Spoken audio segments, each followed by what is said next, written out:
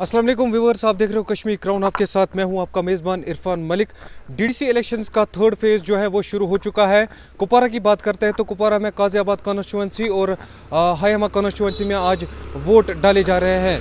अभी इस टाइम हम मौजूद है हायमा के भटपुरा इलाके में तो अभी यहाँ पर जो है लोग जो है वोट वोट डाल रहे हैं। तो कहीं ना कहीं वोटिंग की शरह जो है, वो अच्छी खासी होने जा रही है। अभी तक की जो अपडेट है, ग्यारह बजे तक जो अपडेट है, वो पंद्रह फ़ीसदी जो वोटिंग है, जो पोलिंग है, वो वो हो चुकी थी। अच्छे खासे यहाँ पर वोट डाले जा रहे हैं और कैंडिडेट्स भी अच्छे खासे यहाँ पर जो है, वो इलेक्शन में हिस्सा लेने जा रहे हैं। तो आपको बता दें व्यूवर्स अभी तक कुपवाड़ा की अपडेट दे रहे हैं। तो कुपवाड़ा में अभी तक जो है 16 परसेंट पोलिंग हो चुकी है।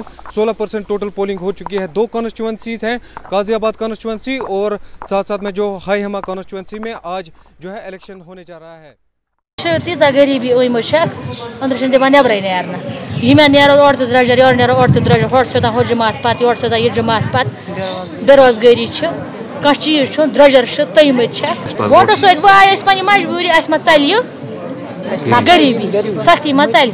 वोट त्राने शुर बेकारी गरीब गरीब जा रहे हैं डीडीसी के कि हमें बनते हैं डिस्ट्रिक्ट डेवलपमेंट काउंसिल ये काउंसिल के कोई चेयरमैन बनेंगे लेकिन पुराने हालात को पीछे देखेंगे बैक साइड तो हमारे को लगता है ये भी धोखा ही हो जाएगा क्योंकि हलाके की कंडीशन आप देखो रोड में क्या है पानी क्या है बिजली की फ़ीस ही देते हैं सिर्फ़ रशीद साहब बंद है, पाबंद सलासल है।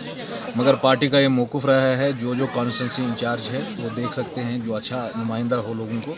इस मरले पे हम अपने लोगों को, आवाम को यतीम वसीर नहीं रख सकते हैं। उनको ऐसे कायदों की सरपरस्ती से महरूम नहीं रख सकते, जो लोग उनके दुख दर्द को समझते थे। आप जानते हैं, रशीद साहब, हम भी अभी यहाँ आए, न कोई काफिला है, ना पुलिस की बड़ी गाड़ियाँ हैं, ना पचासों गाड़ियों का काफिला है। हम आपके ही बीच में उठते हैं, आपके ही बीच में बैठते हैं, खाते पीते हैं।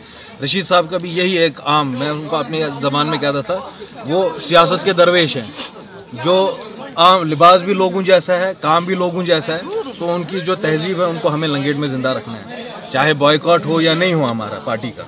तो मैंने अपने जिम्मेदारों से भी यहीं ये बोला कि जो लोगों के मसले मसाइल हैं और ये सरपंच हैं, इनके ज़्यादा डेवलपमेंट इशूज़ होते हैं कोई पोलिटिकल इशू नहीं है। अगर डीडीसी भी बनेगा, वो डेवलपमेंट इशूज़ के लिए बनेगा। तो उनको आवाम के बीच में रहना है, आवाम की बात को सुनना है, जो मसले